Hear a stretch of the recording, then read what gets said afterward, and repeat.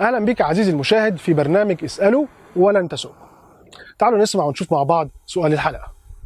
المسيح مولود يعني مخلوق فإزاي يبقى إله؟ المسيح مولود لكن غير مخلوق.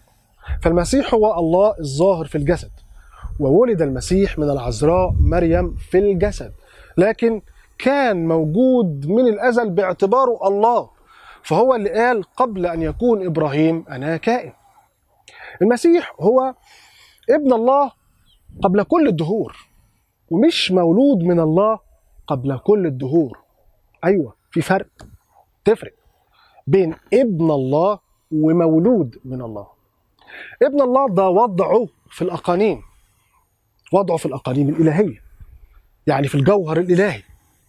وده وجوده منذ الأزل وإلى الأبد ومش هيتغير. لكنه مولود من الله لما دخل للزمن الإنساني بتجسده من مريم العذراء.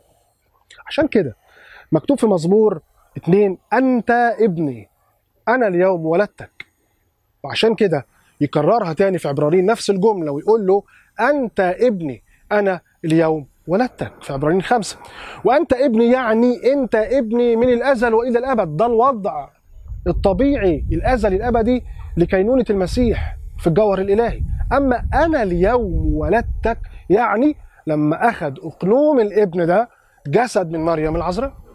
عشان كده يقول في غلاطي أربعة أربعة ولكن لما جاء ملء الزمان أرسل الله ابنه مولودا من امرأة مولودا تحت الناموس. واخد بالك؟ مولودا من امرأة مش من الآب. إذا نلخص ونقول البنوة هي اللي ممكن نقول عليها من الآب قبل كل الدهور وهي معناها اتحاده بالآب من الأزل وإلى الأبد.